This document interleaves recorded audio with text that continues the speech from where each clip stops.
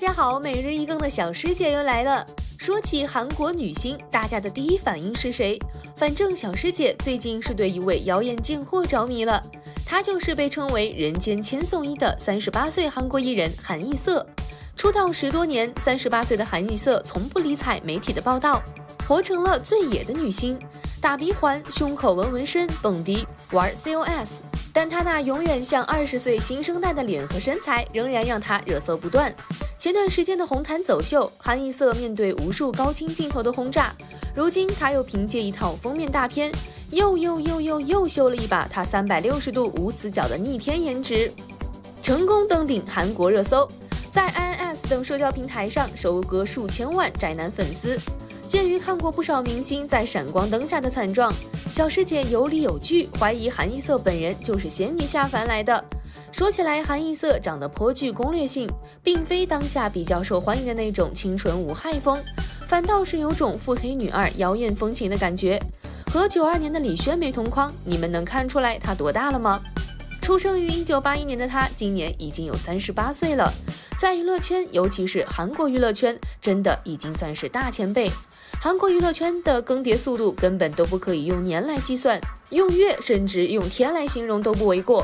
弹丸之地，光注册的练习生就高达几十万。这位三十八岁的女性，凭什么在被誉为造星工厂的韩国，依然能引起巨大的关注呢？在美国出生的韩艺瑟，因为一次模特的选拔而进入了大家伙的视线。二零零六年，她出演了自己的第一部影视作品《梦幻情侣》，饰演的是自小失去父母却得到一大笔遗产的赵安娜，为人十分高傲嚣张，世间能入她眼的物事基本没有。哈哈，这样的小表情也是没谁了。要知道，在当时绝对是属于韩国乃至亚洲娱乐圈的黄金时代。我们看到更多的是全智贤、韩佳人、金泰熙、宋慧乔。也就是在如此多的竞争对手中，韩艺瑟成功凭借自己的演技和讨巧的性格，赢得了众多人的喜爱，也因此获得了 MBC 演技大赏、优秀演技奖和人气奖，事业一飞冲天。但是在二零一一年左右，因为当时和剧组发生了纠纷，这位耿直的明星一怒之下放弃了韩国的一切，跑到了美国，从此以后销声匿迹了好多年。当然，这只是韩艺瑟演艺生涯的一次小小挫折，接下来的这件事才是一个艺人最致命的。他雪藏不久后，膝盖长了脂肪瘤，割完的时候，他发现手术伤口不止长得难看，缝合的也不是很专业。所以当时也发了动态表示，这样的情况太恐怖了。关键是一周以后，他去拆线，发现整个伤口腐烂。这位耿直的女性直接将照片直接发在了社交媒体上。结果院方的解释更加让人觉得啼笑皆非，说因为她是演员，所以做手术的医生感到特别的慌张，所以导致了这样的情况。总的来说，就是因为你是演员，所以导致我们紧张，最后的责任得自己承担。对于女演员这样的伤口，绝对是致命的。但是韩艺瑟就是这样走了出来，现在大大方方的站在大家面前。前段时间，三十八岁的韩艺瑟再度现身，放出自拍短片，与粉丝公开分享私生活。在她拍摄的短片中，不仅展示了自家市值约八百五十八万人民币的豪宅，还自曝了现在对感情生活的想法，被指现在仍难忘曾公开在一起四年的前男友 Teddy。说起 Teddy，小师姐对他也不太熟，对他了解过后才发现，他实际上是韩国非常著名的音乐人，隶属于 YG 公司。曾以偶像团体成员身份出道过，目前已是 YG 的部长和制作人。他在圈内的地位很高，为权志龙、太阳、Two N E One、严正花等艺人写过歌。韩艺瑟和泰迪的恋情始于二零一三年五月，两人是因为朋友的介绍相互认识，随后就开始交往，直到当年十一月就直接公开了恋情。交往期间的二人非常恩爱，常常晒出照片。比如，二零一五年泰迪过生日时，韩艺瑟、权志龙、太阳等与他关系最好的人都聚在一起，开了一个小小的派对。在拍摄合照时，，Teddy 搂着韩一瑟的肩膀，而韩一瑟则亲吻 Teddy 的脸颊，看起来很和谐。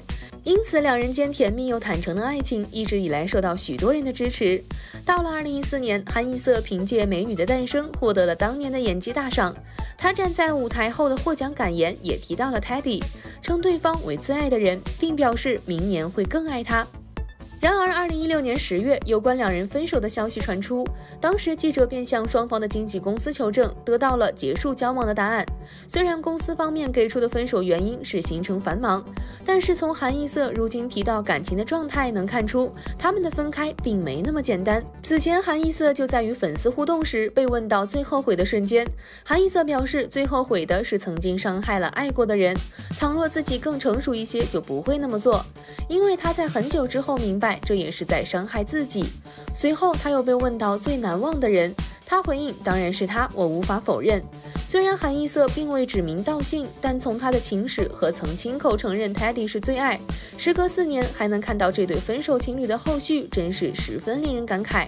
过去虽值得怀念，但现在的韩艺瑟和 Teddy 也分别有着不错的生活。像韩艺瑟，早已事业有成的他，过起了舒服的富婆生活，工作已经被他当做爱好。近几年作品比较少，几乎一到两年才会参演新的影视剧，偶尔还会露面与粉丝交流。因此，相比起意难平，韩艺瑟更想表达的只是遗憾和怀念吧。从出道到现在，他已经走过了风风雨雨二十年，经历了事业的高峰，也经历了低谷。现在的韩艺瑟变得更加自信，在镜头面前展示出来的是一种大方，一种开朗。在这种开朗面前，你会忽略他的外貌，总觉得这个人就像小太阳一样。相信这也是大家为什么会喜欢韩一色的原因吧。这几天，小师姐又冲刷了一遍梦幻情侣。韩一色的富婆女王人设，我可真的是太喜欢了。外加让白莲花吃瘪技能点 max，行走的名言制造器，你们觉得呢？好了，今天的视频就到这里了。如果喜欢小师姐的视频，可以点击订阅关注。喜欢谁就告诉小师姐哦，小师姐会每天给大家更新最新资讯。